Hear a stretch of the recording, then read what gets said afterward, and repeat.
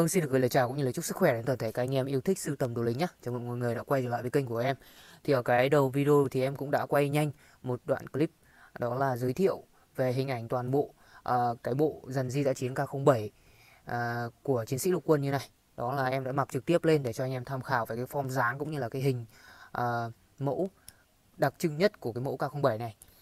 Uh, không hiển nhiên là mẫu dàn di dã chiến K07 được sử dụng một cái thời gian rất là dài bởi vì cái mẫu này nó rất là đẹp nhá. Cái màu của nó cực kỳ là khỏe khoắn, cái form nó rất là khỏe mạnh và nó đẹp cũng như là rất là bền luôn.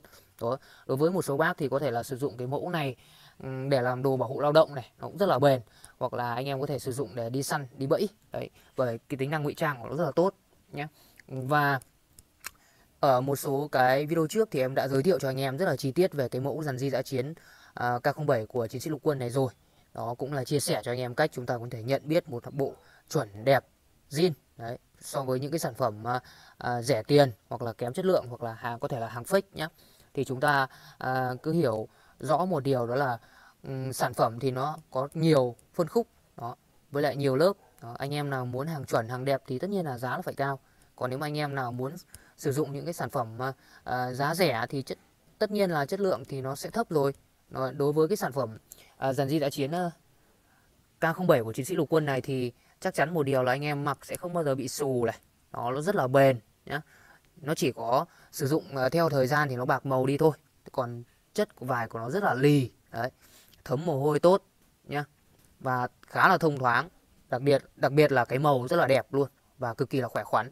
Đây đây là cái mũ mềm này, chuẩn của nó này. Cái mũ mềm này thì hiện tại bây giờ thì cũng rất là hiếm rồi thì anh em có thể là ghép set với những cái mũ uh, mềm của sĩ quan. Đấy cái mẫu của sĩ quan thì nó cũng uh, màu nó cũng tương tự như này chỉ khác về chất vải thôi.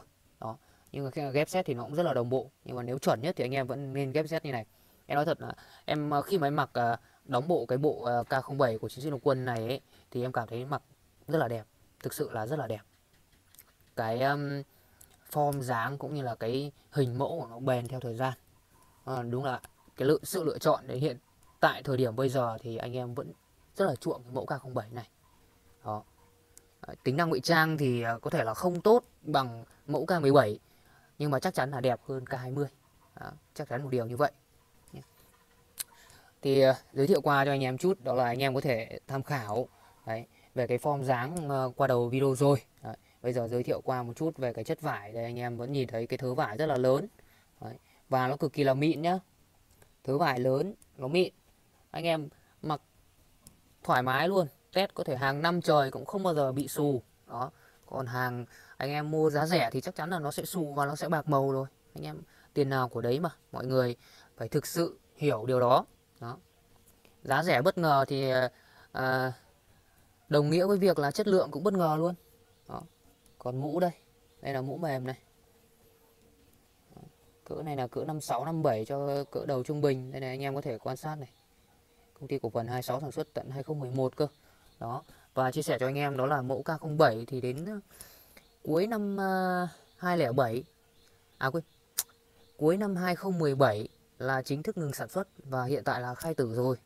Đó. Nên là nếu mà anh em là muốn mua sản phẩm mà tận ờ, K07 nhưng mà gắn nhãn mác 2018 hoặc là 2020 thì anh em chắc chắn một điều là anh em đã va phải những hàng họ làm theo họ may kinh tế nhé đó thì cũng là một cái video ngắn đấy, giới thiệu cho anh em về cái mẫu dần di lục quân K07 của chiến sĩ như này.